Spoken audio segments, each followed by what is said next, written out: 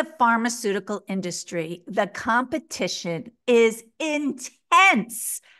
How do these brands get their messages out in front of the right audience at the right time?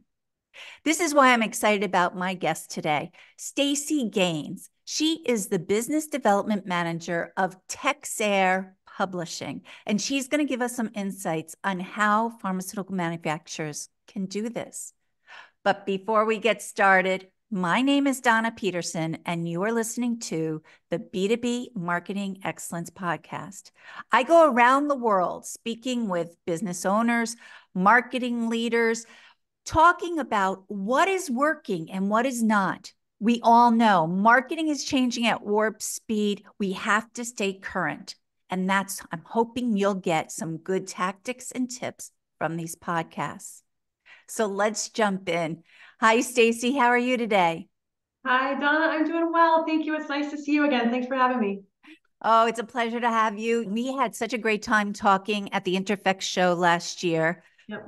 All about pharmaceutical manufacturers. How do they get their brands out there? And that's why I thought, I need to talk to her. She needs to come on the podcast. I hope I can help. I'm sure you will. One of the things I wanted to ask you is given your background in strategic partnerships in marketing, what strategies do you think are important for pharmaceutical manufacturers to effectively build those relationships? Ah, that's an age old question that I've been asking myself for 25 years. but uh, I guess that being said, I mean, I'm happy to share with you what I have, you know, adopted for myself over the years and have passed along to my team over the years. There's really Perfect. four things I keep tried and true to my heart, and they're not rocket science, right? They're your traditional sales strategies. I would say that the first one is that the old adage of people buy from people they trust is mm-hmm. absolutely true. Yes. And it's at the forefront of kind of everything I do. I try to remind myself of that every day.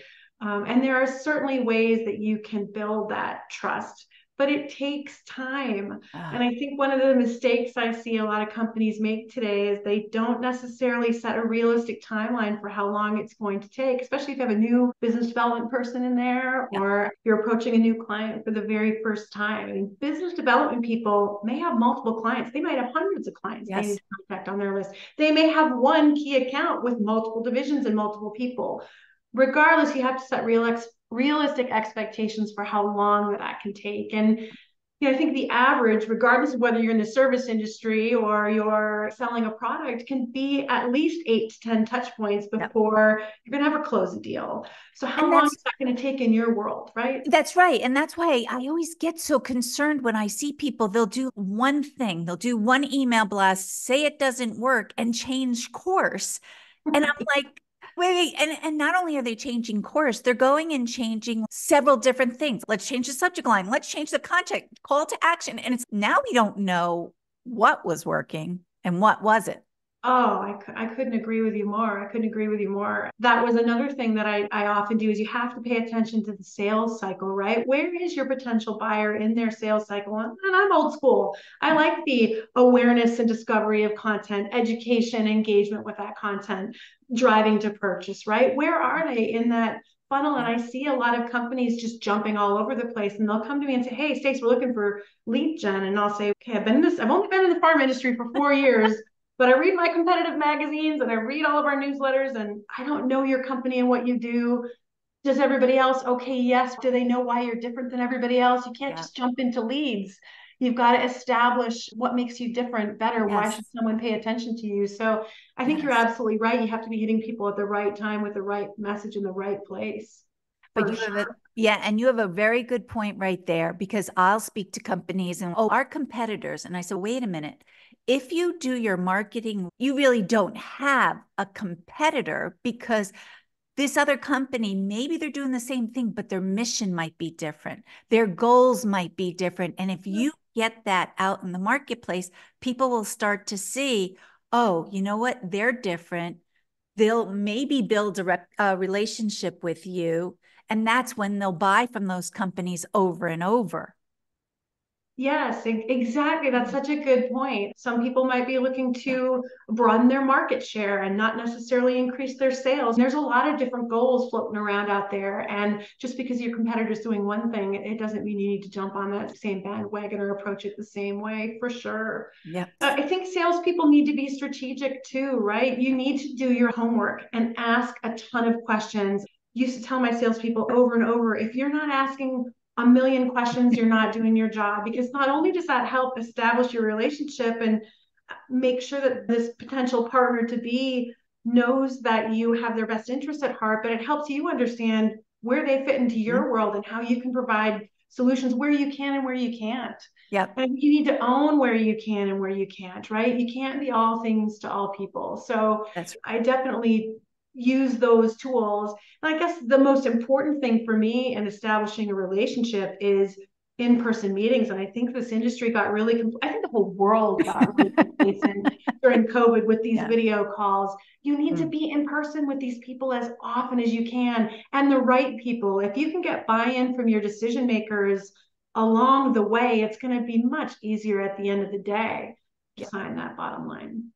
I think just like you said, right now, there are a lot more players involved in the decision to buy a piece of equipment or sign up for a magazine to go to a conference. There's more people there. And you need to go to those in person events because you build a rapport with sometimes it could be the entire team, which that will help you get to the sale quicker, but it'll also make you build those relationships that instill trust.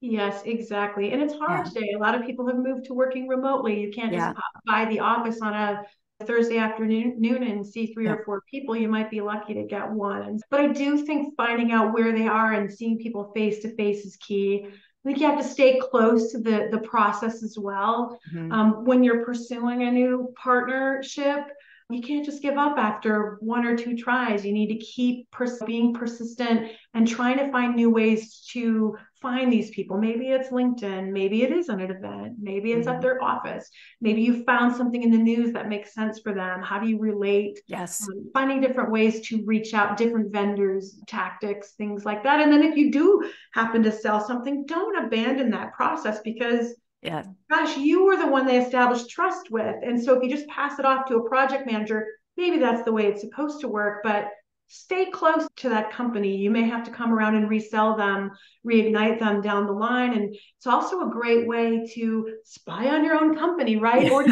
insight, how's it going? I know I flipped yeah. you over to this team. How are they doing? Anything that we can improve? So I think that's important too, staying close. And I think the last thing in building relationships for me is making it easy for people to buy from you. Yes. You've got a massive onboarding process. It's going to take forever. Set those expectations up front or figure yep. out what's important to your buyer and get those things ironed out ahead of time. Yeah. To be honest and upfront is key because if you tell them, okay, this might take six months or nine months, you're right. They set that expectation of what to expect. Not that you say, oh, it'll be up quickly. And here they are at three months. You're like, okay, what's happening? And then nothing. And then six months, now they're really getting mad. It it really doesn't work out well for you. No, correct. Yeah, I'm with you. the other thing I wanted to talk about is when we were talking about relationships and in person events, I think you and I've talked about this before with you. I love in person events because what I've seen now is because some companies are doing remote, they go to these conferences and the entire team comes to the conference because they meet, they have their team meetings they get the education from the conference. But you're right. If you're trying to talk to a company, now you can talk to maybe six players in that company, build a relationship. And so when you build that relationship, even if your step or hands on with that client is over, you still might check in. Oh, how'd your daughter do? Did she go to Colorado? You just check yeah. in with them. and that just keeps that relationship going. Yeah, I think spot on. Yeah. It's it's very interesting, but the nuances of building a relationship do take time.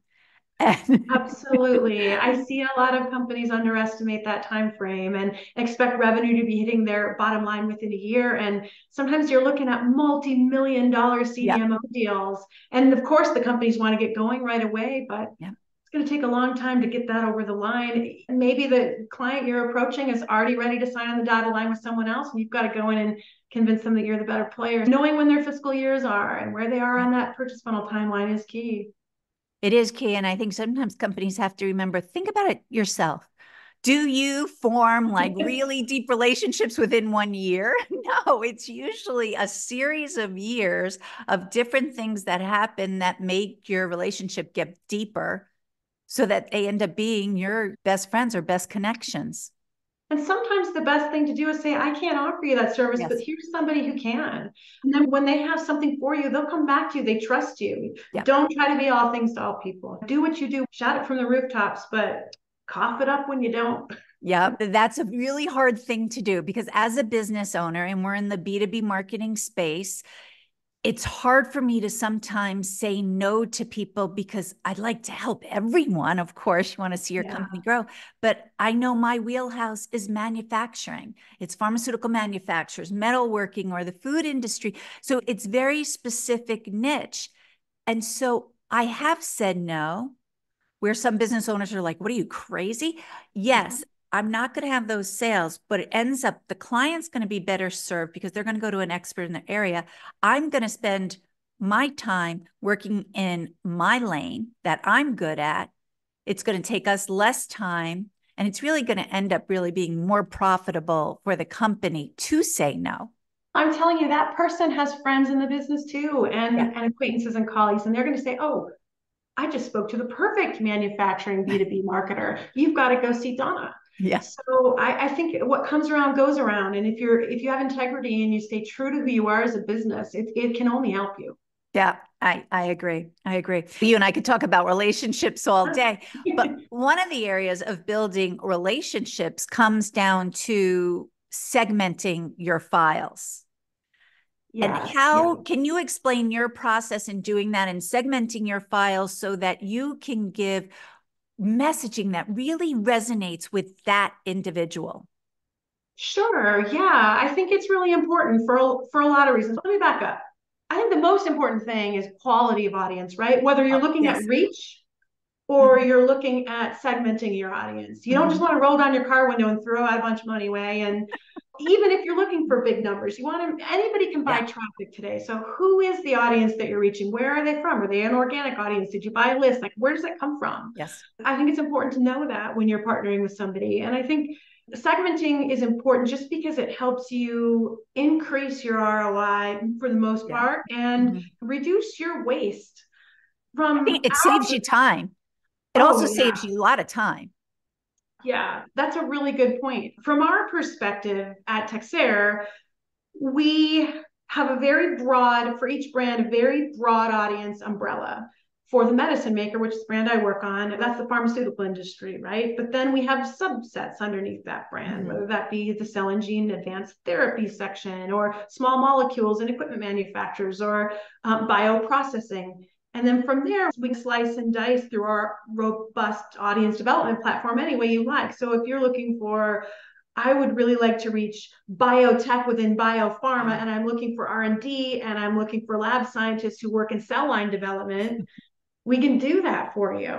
I have a, a partner right now who is running an umbrella campaign um, and they are targeting three very distinct audiences underneath their umbrella campaign with distinct messages, and it's all going on at the same time.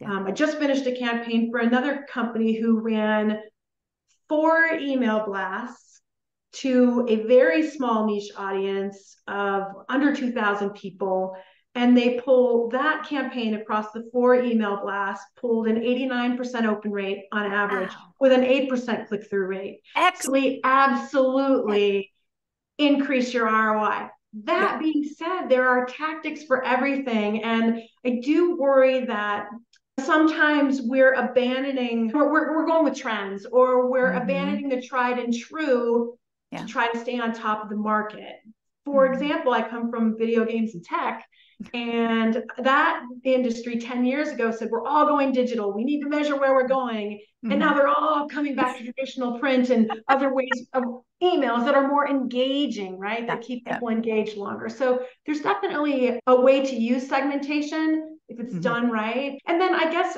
you can also look at segmentation across tactics yes. too, right? So yes. with our platform, you can I can tell you how many people we have in that segment for our newsletters, for our email blast list, and you can hit them different ways with different messaging, or how many people have engaged with a certain type of content online. We can yep. build a mirror audience of ours on our social media platforms and then blast that out for you on Meta and yep.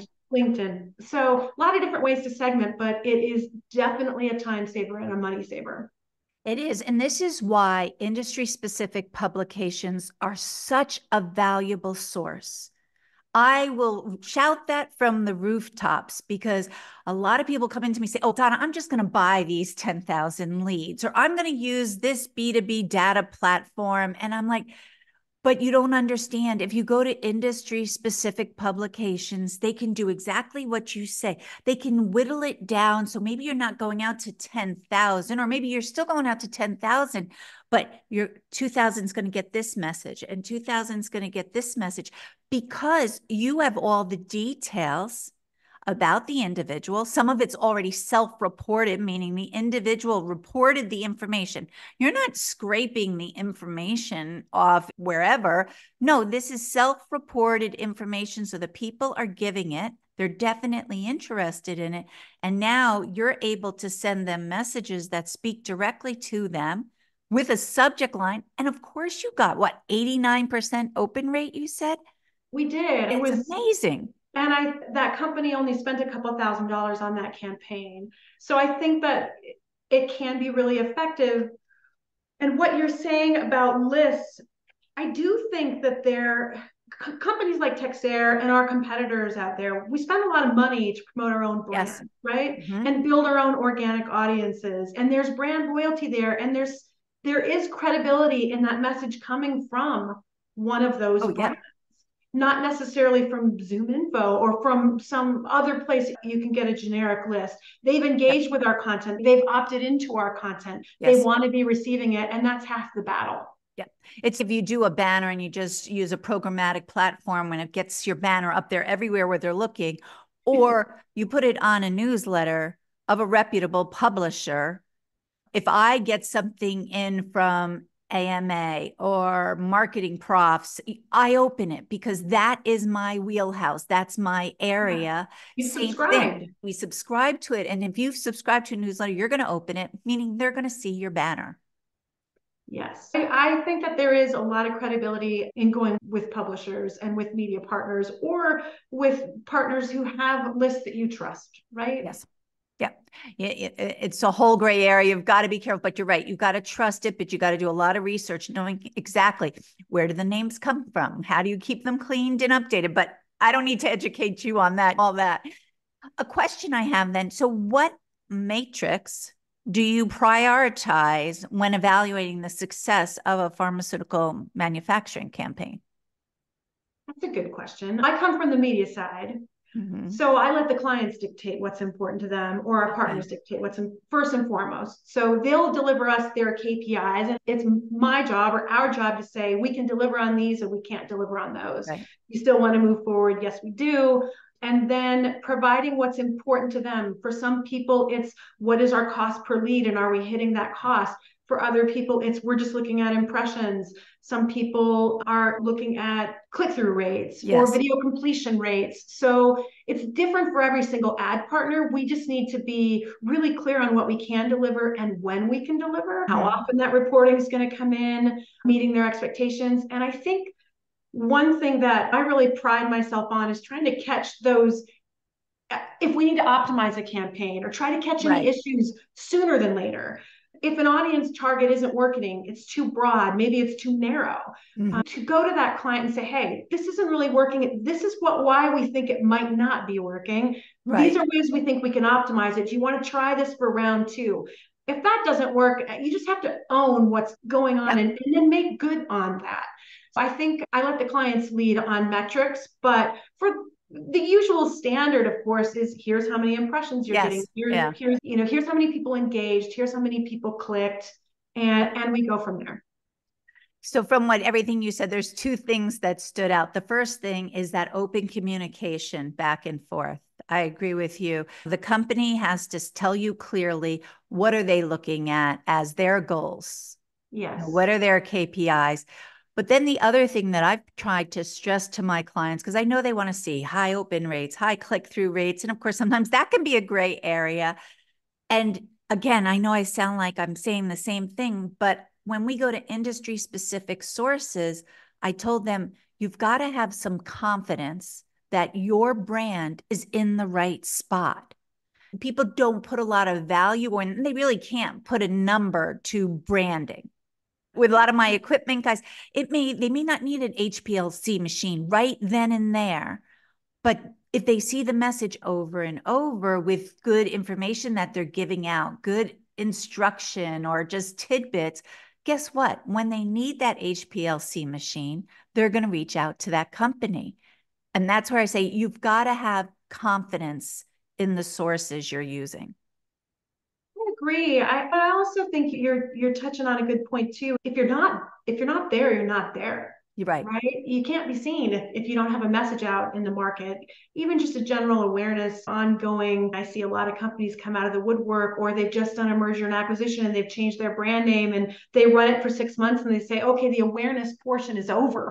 you think, really? Really? Yep. I don't know if it really should be. You know? Um, yeah, I, I think you're right. You have to be there at the right time with the right message, and you have to make sure that your plan incorporates, you know, that funnel throughout the entire campaign. Yeah. If, if something's not working for you too, maybe it's the persona that you've built and it needs adjusting and you can learn from your yes. campaigns what's working and what's not and create or build a new persona try a new publication or a new vendor yes perhaps you've actually just oversaturated their audience with yes. your message try something new We've done that where we've paused something for a while, we've gone back, and then it works great again. But like you said, if you take little adjustments, then you can analyze it to see what is it that we should change. Where if they go in and they change five different things, and I mentioned this before, how do we know? How do we know what is working and what's not? And that's where one thing at a time they should change. Yeah, we do this with our businesses, your business, yeah. our business all the time we make adjustments. Our small yes. molecule, we used to have a print publication. Now we have a newsletter, and we've limited the amount of newsletters for small molecule that go out. And we've created a section in our magazine because we had a lot of duplication between our pharma audience and our small molecule audience. Now, because we've limited the exposure, or I shouldn't say limited, but limited the number of contacts we're hitting these people with, the engagement's through the roof. So you have to make those adjustments along the way whether you're a provider or an advertiser. And that's hard thing for a provider to do because of course they'd love to get more revenue, but in the end I feel if they limit the exposure, the messages will be received better from the individual and then the advertisers are going to see a better rate which customers and you know yes. have yeah it's definitely a del- delicate balance and it takes a lot of people above my pay grade making those decisions a lot of the time but uh, yeah. but it's worth it to do those deep dives it, it is. You got to stick to quality. You can't just bombard your list. You can't just be saying, oh, yeah, take a 100,000 for a fact. Really, only 5,000 are going to be interested. And when you do, that's when you'll see those good results. I agree. Yeah. So then I was going to ask you, give us an example of a successful campaign, but I'm sorry. I think you already gave that to us. When you're seeing an 89% oh. what open rate, and then you said a 8% click through rate? Yeah. do you have another campaign you want to tell me about? that was a really good one. And, and it was a great, and I actually shared that with our entire sales team to yeah. show them how well segmenting can work, right? And that customer I know is going to come back. And it might have been small dollars on our end, but a great ROI for them. And so the next time they want to run, absolutely they'll come back to us. And that's what it's all about. I do think that one thing that I've learned in this business, I think needs improving upon is the one-off campaigns that I see run all day long. And our most successful campaigns tend to be longer form, uh, multi-tactic, omni. We did one recently for a well-established brand in the business who had a new service coming out. They wanted to do a, a webinar. So we ran our traditional e-blasts and newsletters. We ran the webinar, which I love webinars I love educational pieces because yes. they can hit awareness, they can hit education, and if yeah. you gave them their lead generating, right? Yeah. So you can kill a lot of birds with one budget. yeah. But what we did is we took that webinar and we turned it into an article post webinar that we ran in print and online. We pulled out segments of the print article and segments of the yes. video. Yes. To use on social media, Instagram with the video, Twitter with the short form. And it worked really well. And then if you engaged in an e-blast for the webinar but didn't actually register, we went and retargeted you and said, hey, do you want to watch on demand? And if that didn't work, here's the gated article. Yeah. Right. Yeah. So we were able to hit so many different facets with one, pretty much one budget for a webinar. Yeah. So that one worked really well too. That is so wonderful because a lot of people just do the one offs, like you said, one and done. That's it. And no, you can get so much out of it. Just like this podcast with us.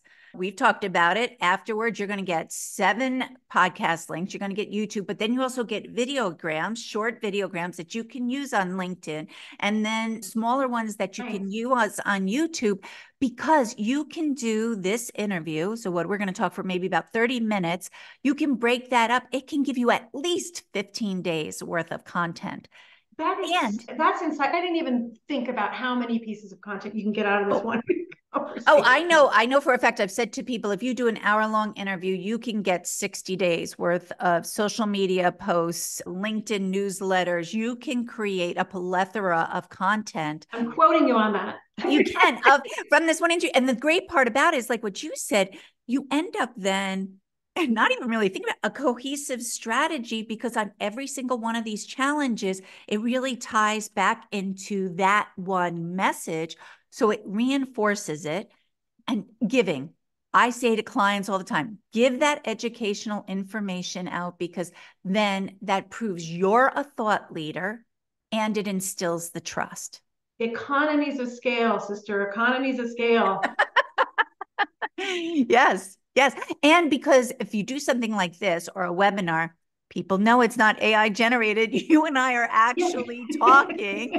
It's it's us because now people are seeing all these blogs out there and all these articles and people are stepping back saying, "You know what? Is this really them or is this just ge- generated, AI generated?" Where if you talk like this, one, they see our faces, they figure us out a little bit. Is she quirky? Is she this? But then they also know it's our actual voice, our actual thoughts. Yeah, I couldn't agree with you more. It's one of the things you asked me in the beginning of this was how to build relationships. And I think authenticity is, oh. should have added that to my list. You have to be authentic, right? Yeah. That's how you can stand out is if yep. you're authentic and you show your uniqueness. So again, World Innovators, a B2B marketing agency but we're 43 years old. We're women owned. We're family owned. You see how it brings us down to a smaller pool. And then we deal with basic in the industrial space. So, what used was this big pool of B2B now mm-hmm. is down to here, which is great because these people understand us when we're talking and we're able to give them a lot of value. I hope so. Sure hope so. That's exactly what Texere is doing. You're, you said it with the segmenting of your, whether it's an email blast or whether mm-hmm. it's a marketing campaign across different channels. When you do, that's when you're really going to build those relationships. I think so too. Yeah. So, my last question for you, and you might have just answered that by saying being authentic, but is there an emerging trend you foresee for the future for pharmaceutical manufacturers? Ah, oh my gosh. I said that I come from the land of tech and video games. Mm-hmm. And I've said for years that the pharma industry is about 10 years behind where I see other business to consumer and some other B2B industries. Mm-hmm. That being said, I think COVID put everybody on an even playing field for a while. And during that time, I think technology really blossomed and with things like generative AI yes. and machine learning. Mm-hmm. I saw actually one of your podcasts on generative AI and how it can be useful. I think that tool is amazing. I think it's not an emerging trend, but it's getting harder and harder for companies today to get data. They have to through GDPR and all the consumer protections that are happening now in our space. And so I think content is king. It has been and it's going to remain king for a while. You, it has to be high quality in order to yes. get people to opt in and engage. And yeah. so you can either tap experts and help your own SMEs for that content, but a lot of people are either smaller startup companies or they're massive and they their their SMEs don't have time.